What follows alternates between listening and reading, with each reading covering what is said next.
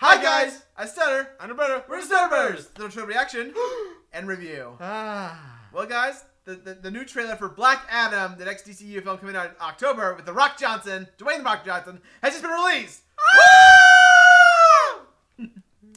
I'm looking forward to this one. I hope I hope we get more of the story though, and e- even for even for this minute and a half trailer, um, I'm looking forward. I'm hope I'm hoping to have stellar action, amazing, amazing The Rock um, punches and whips and what that has in film.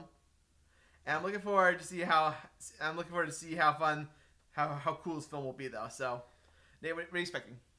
Like I liked, I, I, want- I want all that. Plus, I want, I want some details about this Just Society of America, where Doctor Fate, Hawkman, and all and Atom Smasher are part of.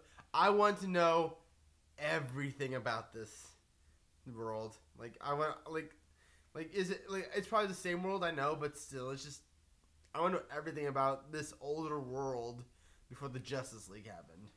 Hmm. Let's do this. Let's do this. Yeah, let's do it. Woo! In the sunlight. My powers are not a gift, Oh. Oh. but a curse.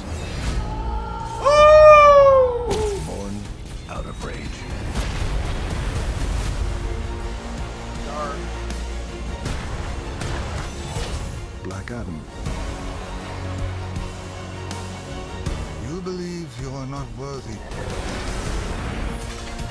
But you have two paths.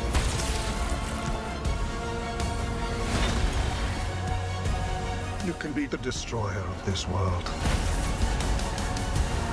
Or you can be its savior.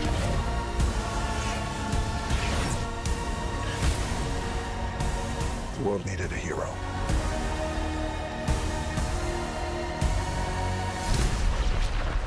Instead, it got me. Oh! Oh! Sorry, Hawkman.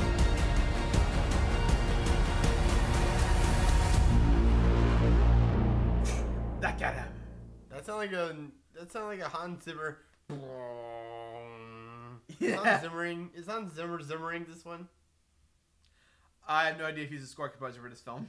Yeah, but seriously, wow! Yeah, this looks like another another. Amazing hit! I- I'm super excited this one. Ah! Go rock, go rock, yeah! Okay, calm down, calm down. Oh man.